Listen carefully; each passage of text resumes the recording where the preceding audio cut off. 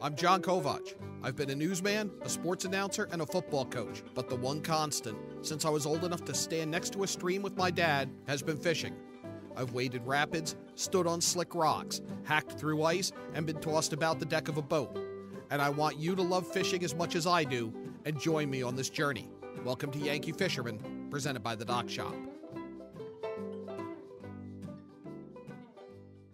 Good afternoon, everybody. Welcome to Yankee Fisherman, presented by the Dock Shop, Thursday, January 25th. A lot going on this weekend. You've got the fly fishing show in Edison. I had planned to be there. Uh, circumstances will not allow that, so I will miss that. First off, though, we do have an update on the inland fisheries regulation proposal in Connecticut, and that included the trout stamp, the extension of the Mill River uh, wild trout management area, uh, trophy carp waters, a number of things.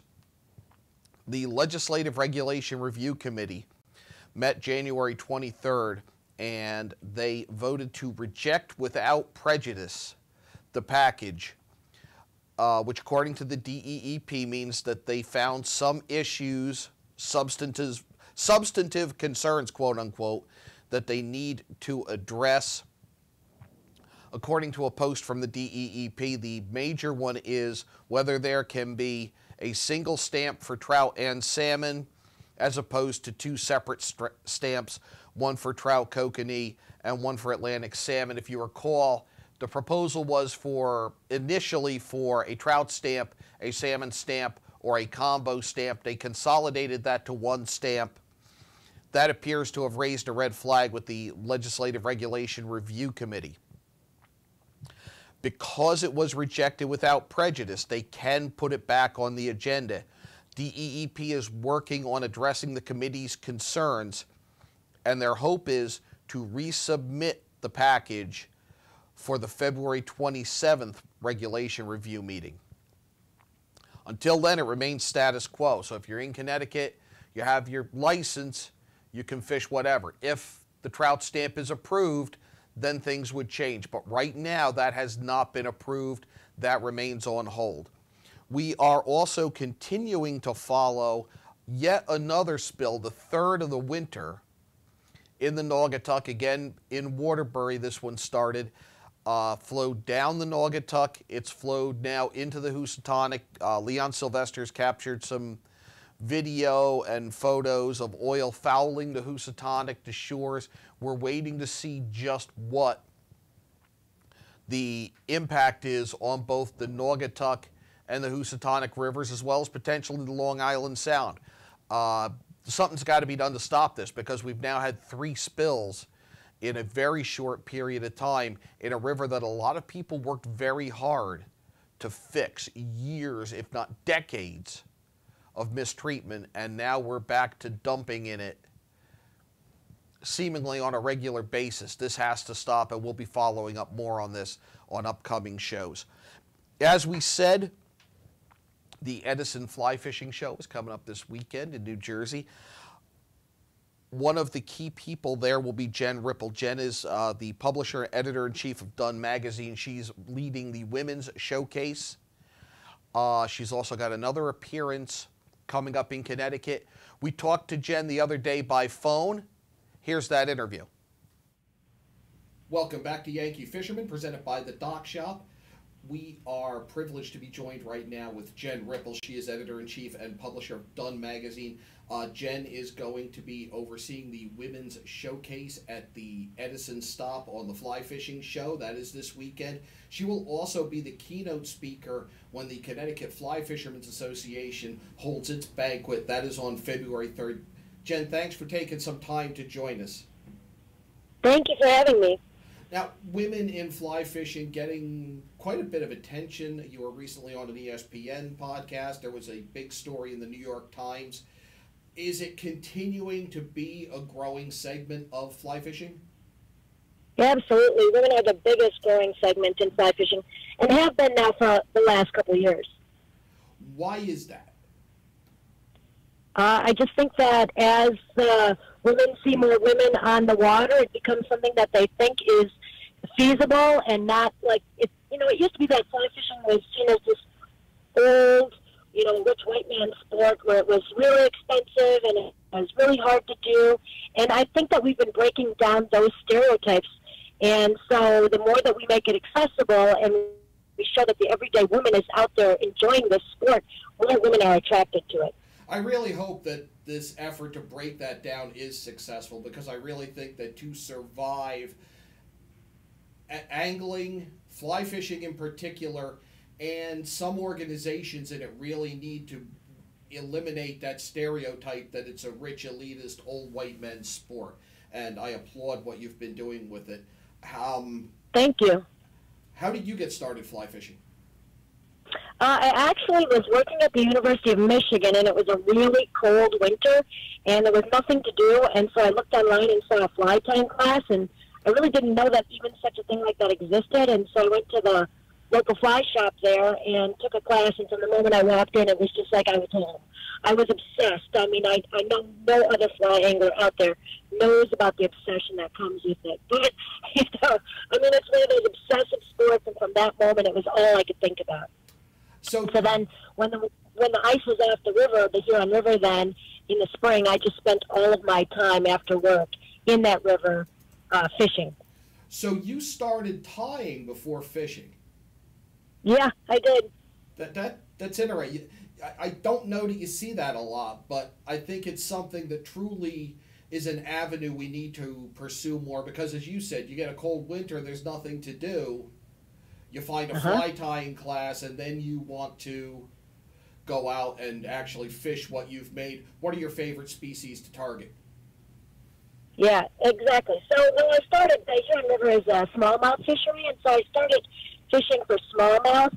And uh, honestly, it was about two years before I realized that as a fly angler, I was supposed to fish for trout, right? So I've always been more of the big game uh, angler, so I love saltwater fishing, and I love to fish for bass and pike and muskie, and uh, anything that's going to really fight back.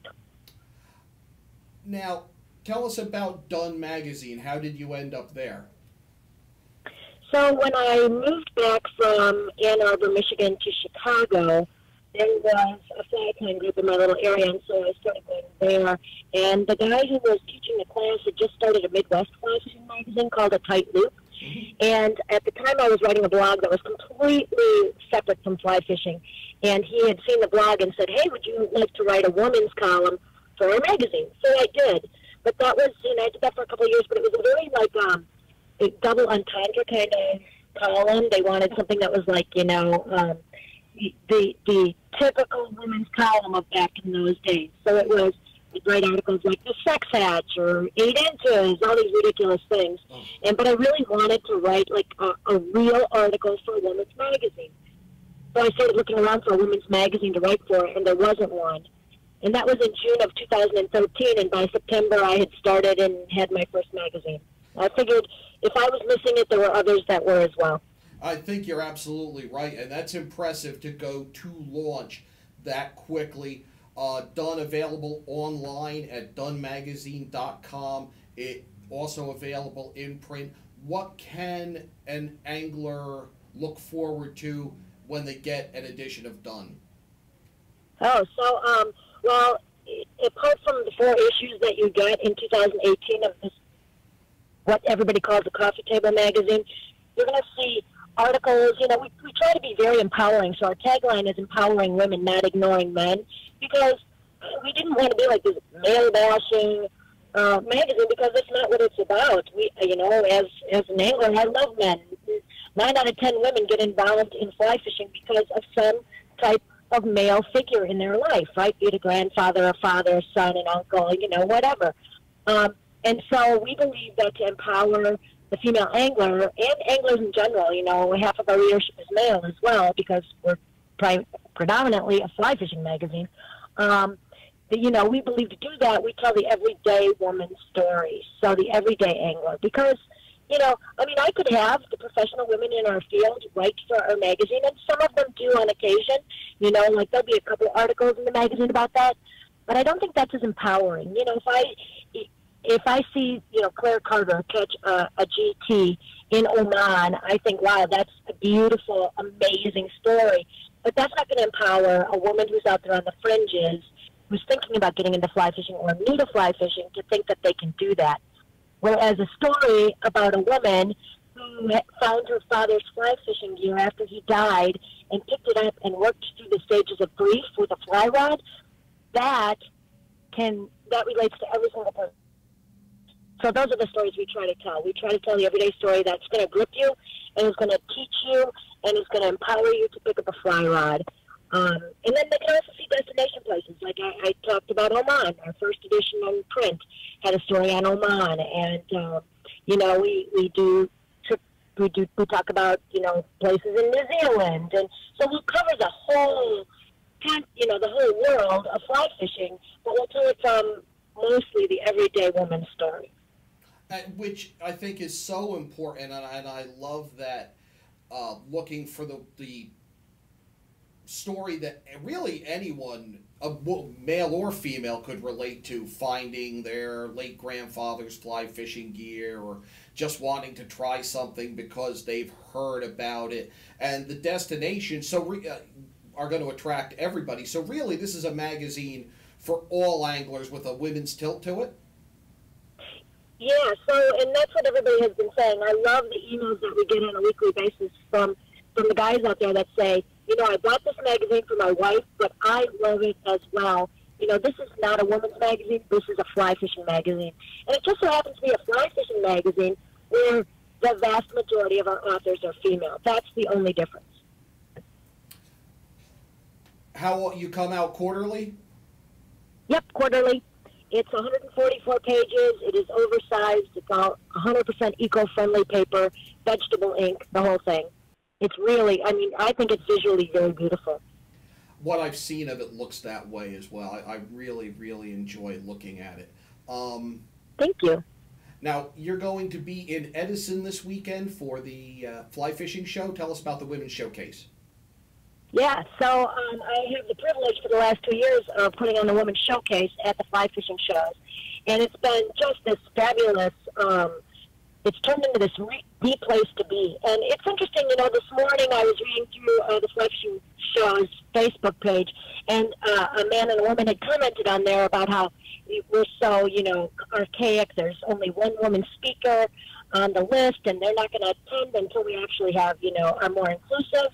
And they totally miss the fact that there's a whole woman showcase that has nothing but women speakers. Like Heidi Nute, the tarpon world record holder, is going to speak on catching big tarpon. I mean, we have we have people coming in from all over to speak that are women in in the industry who are going to teach nothing but you know uh, great things in fly fishing. And so we have a whole showcase that's dedicated just to women-owned or women-centric products. And we've created that like a safe zone kind of thing where women come and stay. And in Denver, it's really interesting. We always set up a campfire, like circle around this like fake campfire in the middle of all of the booths. And I have a picture which is just so hilarious. It's all the men sitting around the campfire in the women's showcase while their wives are trying on gear and shopping. And I thought that looks just like Nordstrom's at Christmas time. yes, it does. I'm having I'm having flashbacks to that. That but that yeah, yeah, exactly. Great. Yeah, it's really been really. I mean, so positive. We have a social on uh, Saturday night for anybody that wants to come, and we give away a whole bunch of stuff. And then our big sponsors, you know, um, Casting, Orvis, the Fly Fishers Federation, Dun Magazine, we all give away a whole bunch of stuff, and um, it doesn't cost anything. And then Sunday morning, we actually have a women's breakfast. Where last year I started a thing where we come together and we only say what's positive in fly fishing. I don't want to hear I went to a fly shop, and this guy asked me if I was fishing for my husband. You know, no, I, I want to hear what has changed because so much has changed since I started the magazine five years ago, and it's all been positive. And so, you know, with the help of the New Jersey State Council Trout Unlimited, they host the breakfast on Sunday. That's been an amazing um, event where women come together, and I think it's really, really positive. I'm, as you can tell, super excited about the women's showcase, the fly fishing shows. And that's included with the regular admission to the fly fishing show, which is in Edison, January 26, yep. 27, 28. Absolutely, it is. And um, you don't have to be a woman to come into the showcase, please. everybody is welcome. I it, the the word on the street is that the flight, the women's showcase has a different feel, and it's a much more positive feel than the main floor. So if you're looking to get away from the testosterone boost and the epic fly fishing on the main floor, you can just walk over to the section that's the women's fly fishing section, the women's showcase, and uh, breathe a couple uh, uh, of soft breaths on the campfire, and then go back to the epic part. it sounds like a break that a lot of times is needed. And then you're going to be back on the East Coast Saturday, February 3rd the Connecticut Fly Fishermen's Association's 48th annual banquet. You are the keynote speaker that night. That's at Maneeley's in South Windsor. Uh, tell us what your That's topic. True. so I'm going to speak. Um, I'm going to speak. I'm doing a seminar on Midwest steelhead, and that's a really interesting program, I think, because a lot of people in the Pacific Northwest don't think that steelhead exists outside of the Pacific Northwest, and um, I had a woman, and this is how it started. I had a woman write a thing on otoliths on steelhead in the Midwest and can prove genetically that they're the same fish. And so we fish for them in the Midwest. Obviously, I'm from the Midwest, and we would fish for them up there. And so this is that seminar is on catching, uh, where to find, you know, and the the history of the Midwest steelhead, specifically Great Lakes steelhead, and their tributaries. And then at night in the banquet, I'm going to be speaking on the history of women in fly fishing, which is a fascinating history lesson that you probably won't ever hear in your fly shops. So it is, um, it is, it gives women a foundation to know they belong in the rivers and on the in a fly shop and all of that. But it also educates men on the leaps and bounds that they use every day in fly fishing that were done by women. For instance, the way we tie our streamer was is attributed to a woman. You know, I mean, and, and so many other things. I'm not going to give it all away because no, tons forever on it. But I'm going to be speaking on the history of women in fishing. Fascinating, fascinating story. I, am looking forward to it. You can get details at ctflyfish.org. Uh, that is all on February 3rd, so you can see Jen this weekend down at the Fly Fishing Show in Edison, or you can see her up in South Windsor February 3rd. Jen Ripple, Dun Magazine, thank you so much for giving us some time and joining us on Yankee Fisherman. Thank you so much for having me. We'll be back with more Yankee Fisherman presented by the Dock Shop right after this. Well, there's still a bite out on the water. Most anglers have decided to stow the gear for the winter. Just because Mother Nature isn't cooperating doesn't mean you can't see the latest models of all your favorite gear. With two convenient locations, it couldn't be easier to get your fix of summer. Boater, beach bum, fisherman, or simply love the New England coast, this is a unique place to shop. The Dock Shop, 51 Tokeneke Road, Darien, 609 Riverside Avenue, Westport, or on the web, dockshop.com. Walter Stewart's Market is your destination for the best big game fixings. From our house made fresh guacamole and dips to chili, chicken wings, pulled pork potato skins, risotto balls, and take and bake house made specialty pizzas. Combined with a selection of the best craft brews, Stewart's is your one stop big game shop. Stop into Walter Stewart's Market, conveniently located at 229 Elm Street in New Canaan, and find us at stewartsmarket.com.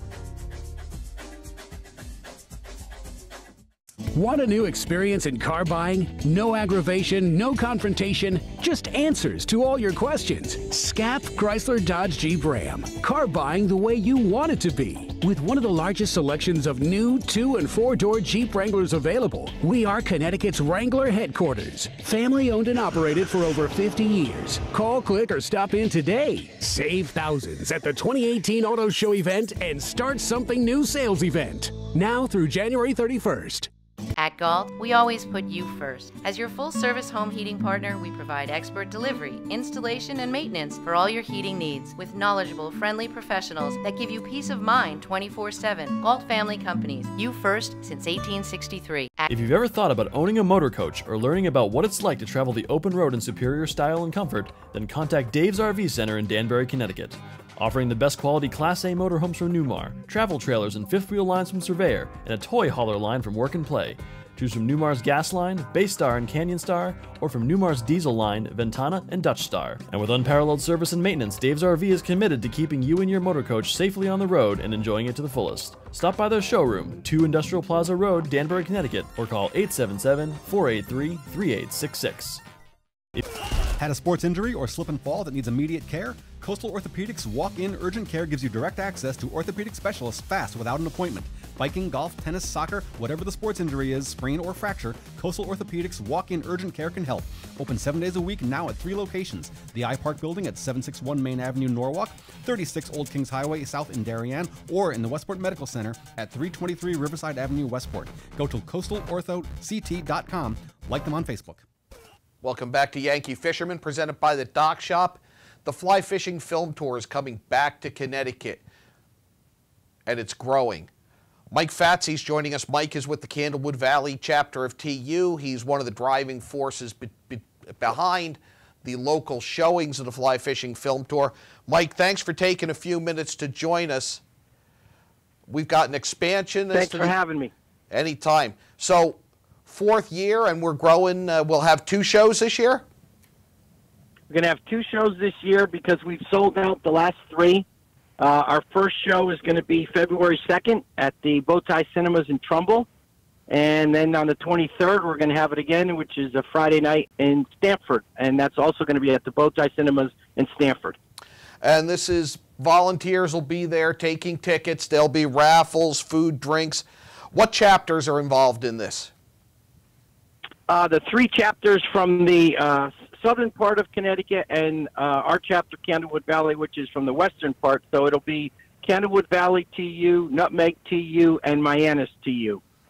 And then all of this money funds projects that those TU chapters do locally here in southwestern Connecticut. What kind of work gets supported by the money raised from these showings?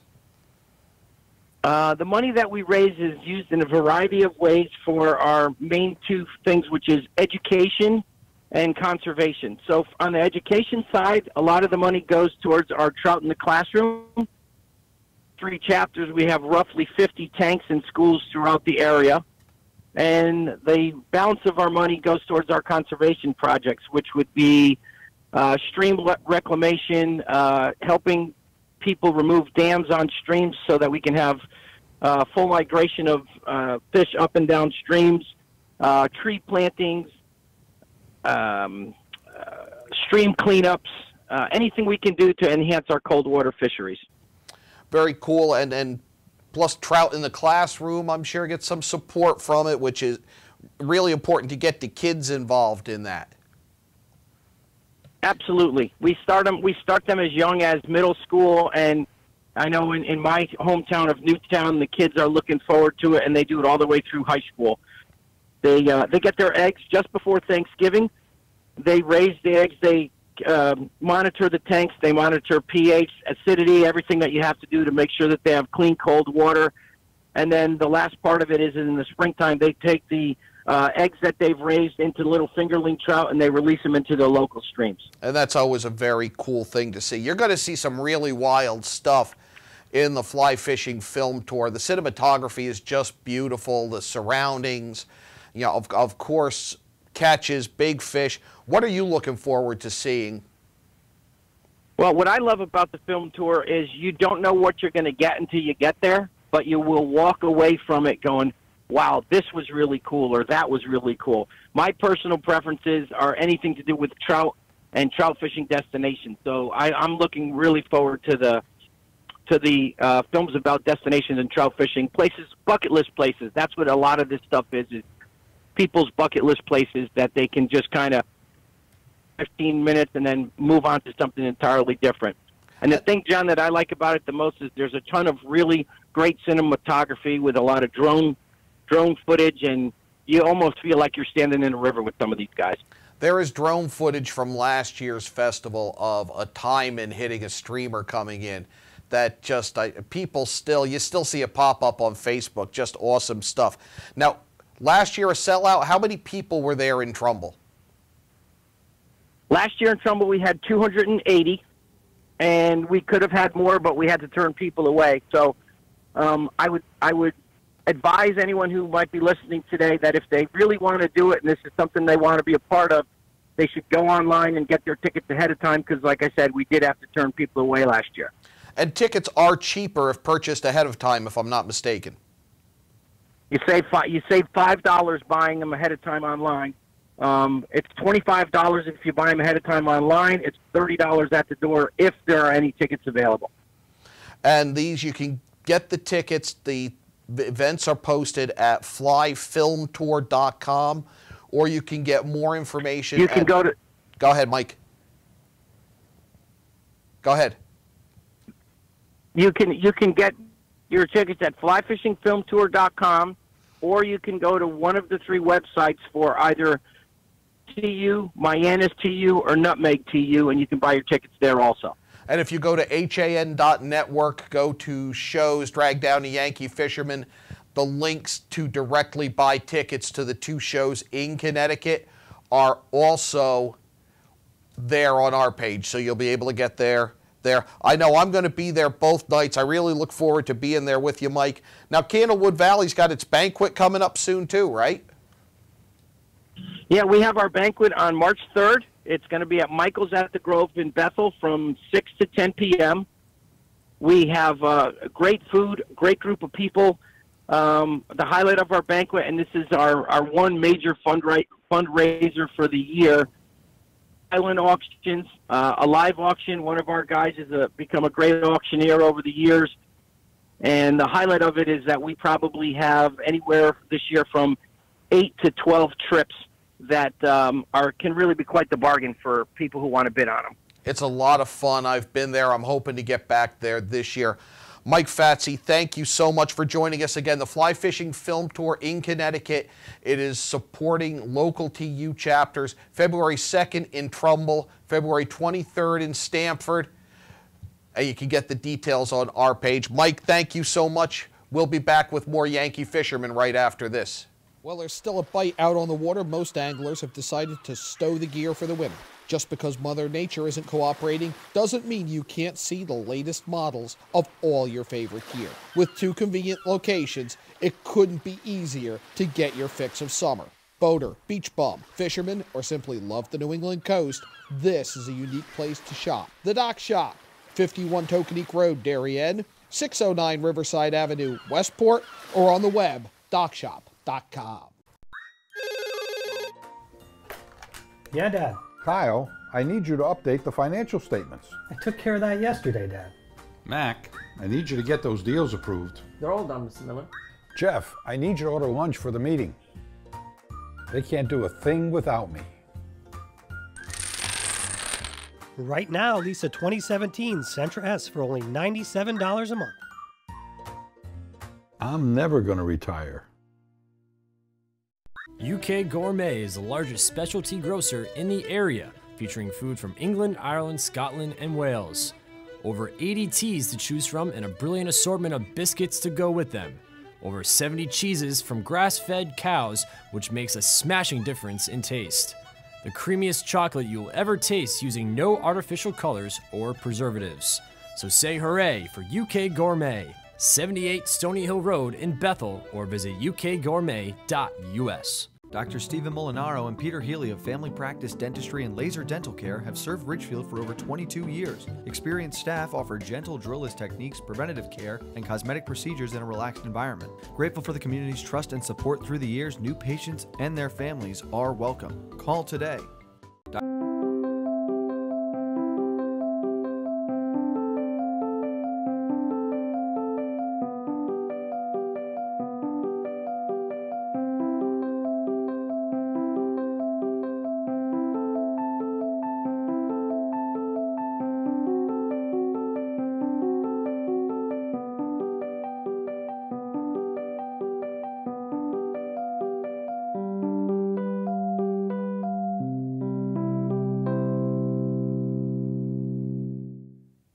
Welcome back to Yankee Fisherman, presented by the Dock Shop. Real quick, they've gotten three DNA samples back from the trout eggs that we collected with the Deerfield River TU chapter. And they have come back for brown trout. We'll have more results and more news on that later.